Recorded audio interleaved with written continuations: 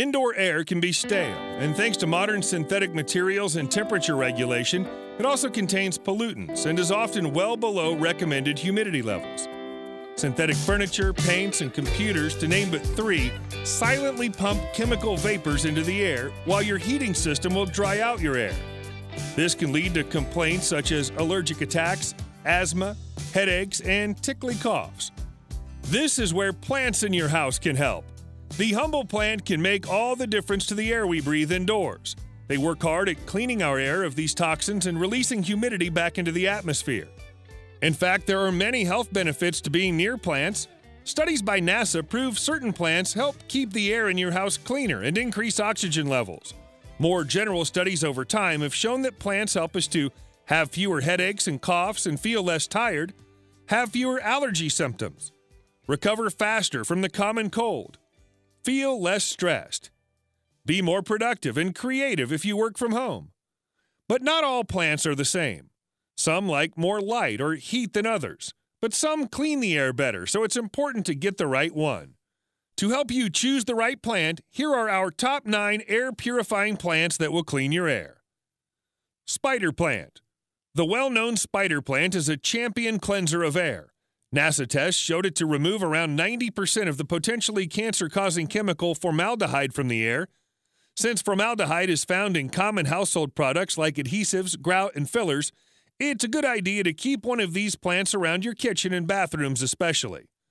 Aloe vera.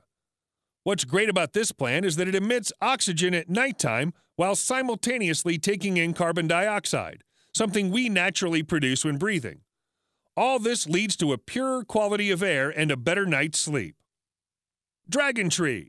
This plant is useful for removing chemicals which spreads in indoor air through lacquers like your hairspray or furniture polish or furniture varnish.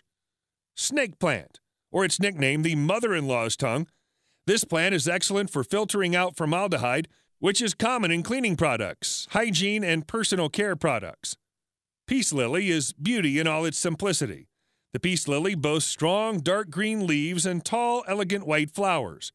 Really easy to care for, this plant helps to filter out harmful toxins. The moisture given off by these striking flowers can boost a room's humidity by up to 5%. This way, you can say goodbye to those irritating dry noses and sleep peacefully. Boston fern is a mass of lush foliage which helps this plant to scrub the air of toxins in a room and improve humidity. With a bit of regular misting and watering, it should thrive. Areca palm is an extremely elegant palm with delicate fronds, which is good enough to be situated in your living room or hall. This pleasant plant releases lots of moisture into the air, removes toxins very effectively, is easy to look after, and resists insect infestations well. The rubber plant is bred for toughness. This is the plant to choose if the room doesn't have a lot of natural light. Its architectural form makes it a designer's favorite, and its simple, large leaves look good in most places.